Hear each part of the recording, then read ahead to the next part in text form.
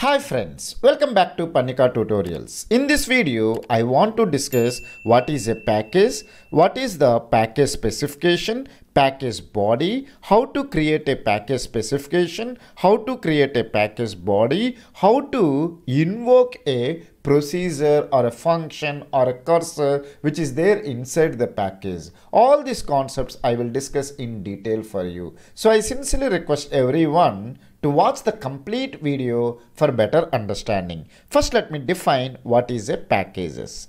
Packages are schema objects that groups logically related PLSQL types, variables, functions, cursors and subprograms. So it is logically grouping various related functions, cursors, procedures, variables, subprograms, etc. into a single group. That group we will call it as a package. Every package has two mandatory parts. One is package specification and another one is the package body or I can say package definition. Normally the package specification consists of the declaration of the functions, procedures, cursors, etc. Whereas the package body consists of the definitions which are declared in the package specification such as definition of a function, definition of a procedure, etc. Now let me discuss in detail about the package specification. As I said earlier, package specification consists of declaration or the prototype of the functions, procedures, cursors, etc. So it just declares the variables, constants, exceptions, cursors and subprogram that can be referenced from outside the packages. So what are the functions, cursors, subprograms you want to keep them in a group of a package. Those functions, variables, constants, exceptions, procedures, etc. You need to declare them inside the package specification. In the package body, you will define them. Now let me discuss in detail about the package body. All objects placed in the specification are called public objects. What is meant by public object? If you make any object as a public, you can access them anywhere. If you make it as a private, you can access only inside the package only. So by default, all the objects which are specified in the package specification are called public objects. Any subprogram not in the package specification but coded in the function body is called private object. Now let me discuss in detail about the package body. The package body has the codes for various methods, functions, procedures declared in the package specification and other private declaration which are hidden from the code outside the package. So whatever the functions, cursors, procedures which you have declared in the package specification those functions cursors procedures you will define them inside the package body. Defining means what are the statements you want to execute whenever you are calling the function or a procedure. All those statements you will write inside the package body. Now let me discuss the syntax for creating a package. So you need to write create or replace package and then you need to provide the package name. I can write it as package underscore name. And then i can write is.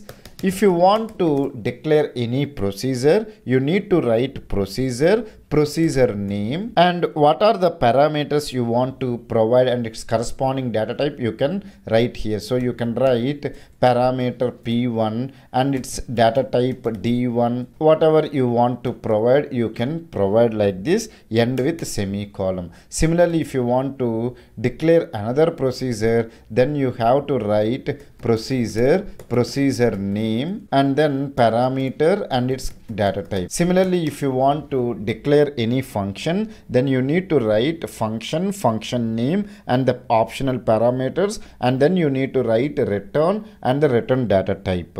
And then you can write the end and then end with a semicolon. So like this you can create a package. So the package specification consists of the procedures functions definition. Now let me discuss how can you create a package body? Because the package body statement is used for creating the package body. So you have a statement called create package body. So you need to write create or replace package body and then you need to write the package name.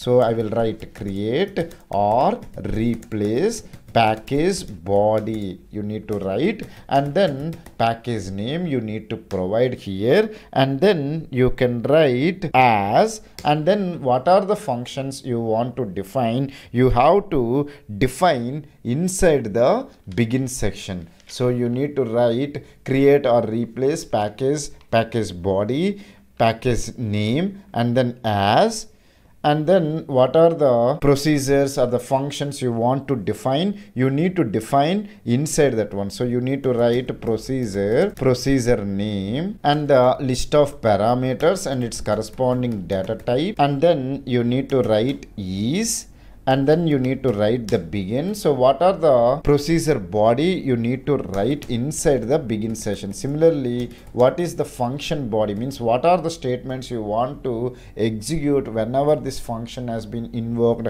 or whenever this procedure has been invoked? All the statements you will write inside the begin session. And then you will write here end. And then you can write procedure name. And then you can define one more procedure or a function. Like that you can write everything and then finally you can end this one. So like this you can create or replace a package body. So if you write create package body package name if the package body is not existing then it will create a new one. And let's consider that package body with the package name is already available then it will replace with the new one whatever you are doing. Similarly when you have written create or replace package package name if the package name is not existing then it will create. If it is already existing then it will replace with this one. We will discuss how to create the package specifications and package body in PLSQL so I will open the SQL plus and then I will write set server output on end with semicolon. Now I will write a package specification. So the syntax is create or replace package. Package name I will write it as PA1 and then I will write is procedure. I want to write the procedure name as hire so i am declaring the procedure called hire and fire inside this package called pa1 so this is package specification. So i'm declaring all the procedures such as hire and fire. So i will write the parameters e in number comma n in varchar 2 comma j in varchar 2 comma s in number comma d in number. End with semicolon. When we have discussed about the procedures we have three types of parameters. One is in parameter out parameter and in out parameter. So here all the parameters are in parameters. So similarly i will declare another procedure called fire so I will write a procedure, procedure name is fire and I will provide the parameters in number, end with semicolon. So I have declared two procedures in the package specification and the name of the package is PA1 and then I will write end with a semicolon then backslash. Now you can see package has been created. If you want to verify this syntax, let me open this one in notepad. The syntax is create or replace package package name then you have to write is whatever the functions or the procedures or cursors you want to declare you have to declare them. And then finally you have to write the end end with a semicolon. So like this you need to provide the package specification. Now i will provide the package body for the package called pa1 because package specification will consist of only the methods functions procedures declaration only. But the definition will be there in the package body. So i will write create or replace package. Let me write the spelling properly. Package body. And the name of the package is pa1 i will write as procedure. Procedure name is hire. So i'm providing the definition for the procedure called hire so what are the parameters are there? E which is a number, N which is a where varchar 2, J in where varchar 2, S in number, comma D in number. And then I will write is begin and now the procedure definition I will write inside the begin session. So what is the procedure instructions you want to execute. Whenever someone is invoked this procedure called hire what are the statements you want to execute? Those statements you will write inside the begin session. So this procedure is useful for me to insert one row into the table called emp so how can you insert one row into the a table? So you need to write insert into table name here I want to insert this row into the table name called EMP. So I have written the table name as EMP. I want to insert the values for only few attributes. So the attributes list you need to provide here. One is EMP number, E name, comma job, comma SAL, comma department number, and then values, and then the values are there in the variables called e comma n comma j comma s comma d. And then you can end with semicolon. Then you want to commit that statement. And then you want to end the procedure called hire and then you want to define the another procedure called fire. So you will write a procedure.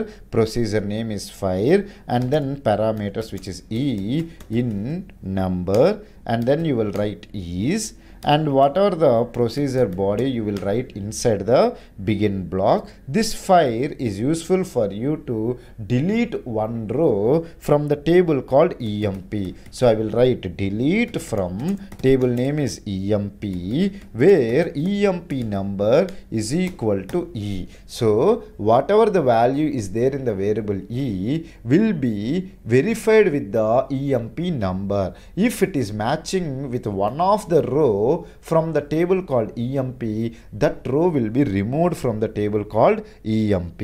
So then after performing the delete, I will perform the commit operation and then I will end the procedure called fire and then I will end and then now you can see we got a statement called package body created. If you want to verify this entire package body let me open this one in notepad. You can see create or replace package body package name as and what are the procedures or functions are there? All the procedure functions definition you need to provide here. If you have declared the any procedure or a function in the package specification and also you are defining inside the package body then those procedures or functions will be public objects. Now let me save this one and close it. Now i want to invoke one of the procedure which is there in the package called pa1 so the syntax is you need to write execute and then package name dot the procedure name or the function name and what are the parameters you want to pass to the procedure you will pass it and finally you will end with semicolon now let me perform this one in the SQL plus. First let me clear the screen and then I will write set server output on end with semicolon. Now I have declared two procedures called hire and fire and also I have defined them in the package body. Now I want to execute the hire procedure. So I will write execute. Package name is what? PA1 dot. The procedure name is hire and I need to pass five values which is the EMP number employee number employee name job his salary and the department number. So let me give the employee number as 500 his name i will enter as ramu and his job is let's consider that clerk and his salary is 10,000 comma his department number is 20 and then end with the semicolon. Now you can see PLSQL procedure successfully completed. If you want to verify whether this row has been inserted inside the table called EMP, then you can write select star from EMP end with the semicolon. Now you can see there will be one employee whose employee number will be 500. We will verify whether any employee whose name is Ramu is there or not. So I will write select e name comma emp number from EMP where SAL is equal to 10,000. Let me end with semicolon. You can see there is an employee name called Ramu. His employee number is 500. That one only we have inserted into the table called EMP. Let me clear the screen and then I want to write set server output on. Let me verify the spelling properly. Set server output on end with semicolon. Then I will invoke the procedure called fire. So how I will write execute and then package name is what? PA1 then I will write fire the employee number is 500 now let me end with the semicolon. PLSQL procedure successfully completed. Now let me display the information which is there in the EMP table. Now only 11 rows are selected. The 12th row is not there. Means whatever the employee number is 500 that employee details have been removed from the table called EMP if you want to verify you can write select EMP number from EMP where E name is equal to Ramu that is what the employee name we have inserted. Now you can see no rows are selected. Similarly if you want to display the emp number comma e name from emp where sal is equal to 10000 now also you can see no rows are select. Similarly if you want to remove the information of the martin that also i can do. What is his employee number? 7654 i will call the procedure called fire. So how i need to call? Execute. Package name is what? Pa1 dot fire. And then employee number is 7654 let me end with the semicolon. Now you can see PLSQL procedure successfully completed. As we have removed one more row from the table called EMP, now only 10 rows will be displayed as an output. So how I can display the information which is there in the table? Select star from the table name. Now you can see only 10 rows are displayed. So Martin information have been removed from the table called EMP. I hope it is clear for you what is a package, what is the man mandatory parts in the package such as package specification and package body, how to create the package specification, how to create the package body, how can we invoke the procedure or a function which is there in the package. If you still have any doubts related to this concept, feel free to ask me in the comment section. I will try to clear your doubts as early as possible. Thank you for watching the complete video. Have a nice day.